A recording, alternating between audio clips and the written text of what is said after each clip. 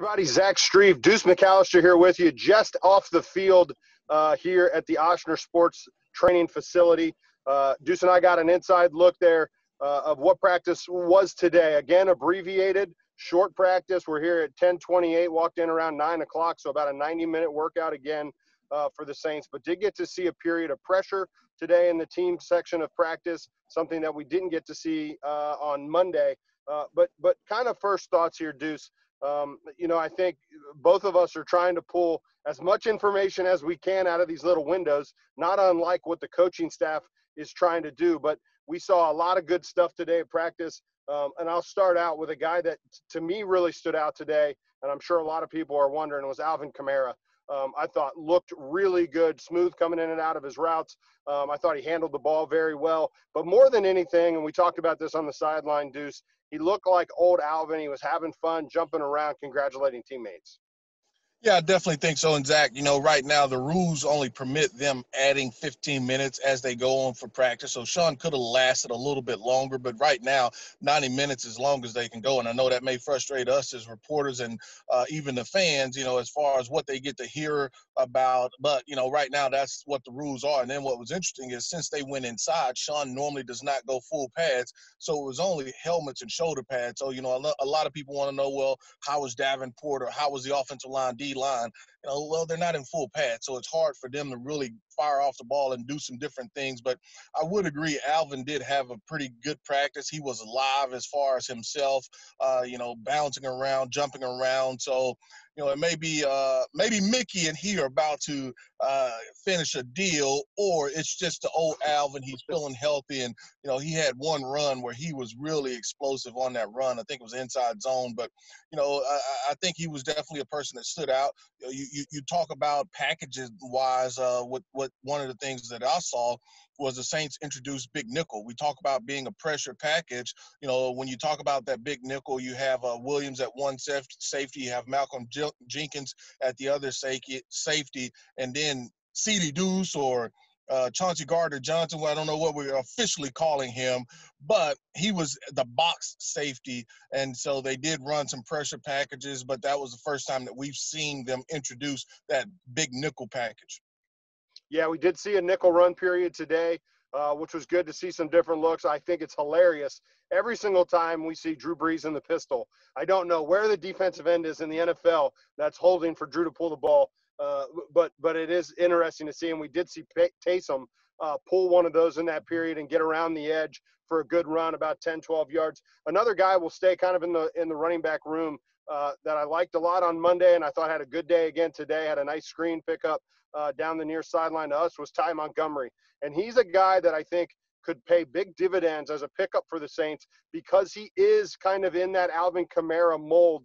Um, in the type of player that he is, and you see those guys doing a lot of the same things, and it's a component the Saints didn't have last year, and it forced Alvin into getting a lot of a lot of touches, uh, and he may take a little bit of that pressure off of Alvin this year.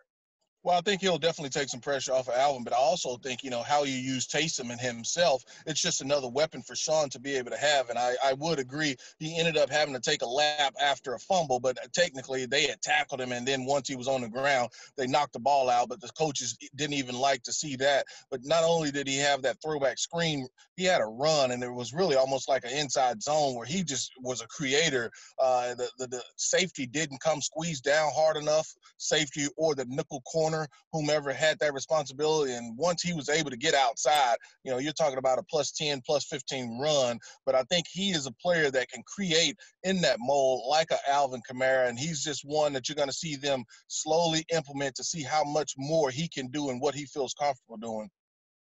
Another room offensively, Deuce, uh, that we've gotten a lot of questions about is the tight end room with the new additions that are there. Two of them out of the draft class, Adam Trautman and Tommy Stevens, both taking reps today at tight end. Um, and and listen, early reports uh, on on Adam Trautman have been very good. We saw him look really good. I thought an interior run today. Really got after it in that period. Uh, did did have a ball thrown his way today. Was unable to bring that in. But we saw Tommy Stevens for the second practice in a row make a catch down the field.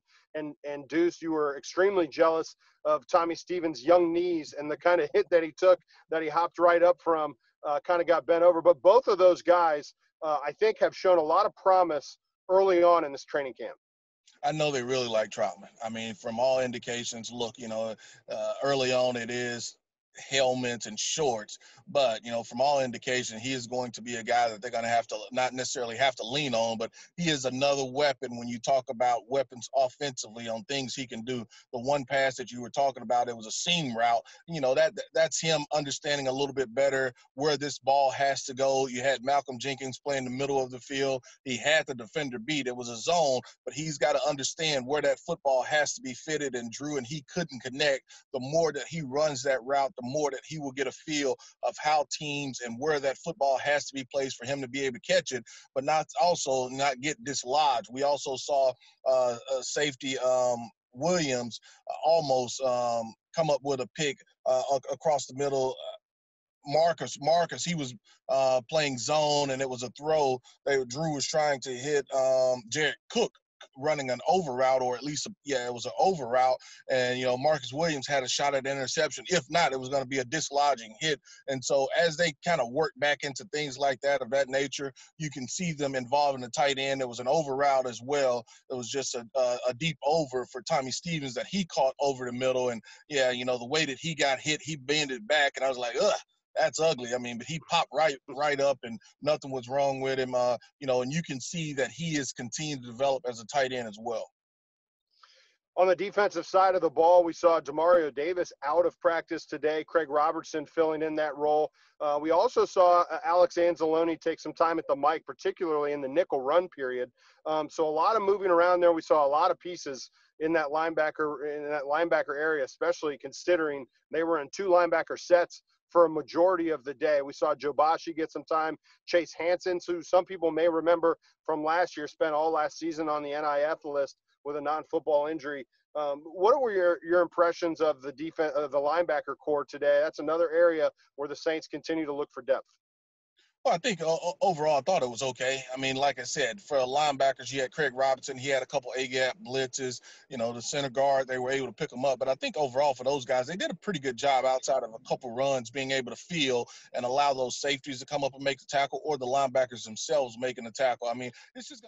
And then finally, Deuce, we'll finish on this. The defensive line for this team, always a place. Just like offensive line, you're constantly looking for depth uh, and, and filling out your rotation. Um, Trey Hendrickson had a nice pressure in the period today against the first group, uh, as well as David Onyemata. So looked good up front, I thought, today from a pass rush perspective.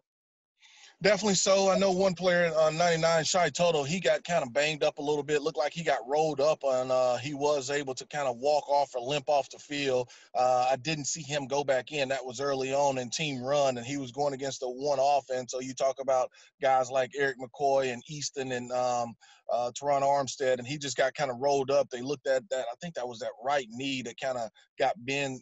He, he, he was bended back a little bit. So it'll be something to kind of watch as far as he is concerned. But, you know, I, I thought Onyemata got really nice pressure, uh, you know, and it was uh, on a pass rush. Drew did a good job of being able to step up and still complete the pass. Uh, I think that was to Michael Thomas. But, you know, overall, you're going to get pressure. You know, right right now, we're looking at the snap count, and man, you talk about guys, Granderson, uh, and and a lot of a, a, lot of other guys they're jumping that snap count left and right, and it makes you look and it's like, man, is the snap count off? You know what what's what's going on there? But those defensive linemen right now they're trying to jump that count to be able to say, hey, look, you know, I was back there to get the quarterback for a sack. Let me tell you what we called that uh, when I was playing on the offensive line. We called them cheaters. Deuce. They're cheating. They know our snap count. They're cheaters. That's what they are. That's just me uh, becoming an offensive lineman again. All right, that'll do it from Deuce and I. There'll be lots of content all day long. You can catch Deuce and I. Bobby will be introduced next week as he's in with Steve Geller every day post practice. You can get the first reaction here from WWL across all of our platforms. Deuce and I will talk to y'all tomorrow. Thanks for tuning in.